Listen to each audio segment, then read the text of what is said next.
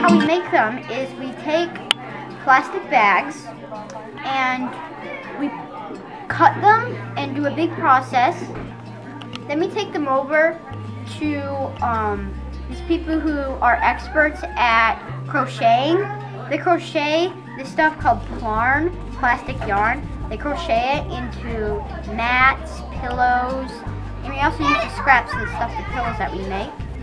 We do it because not a lot of people recycle stuff, and also because we're saving the environment.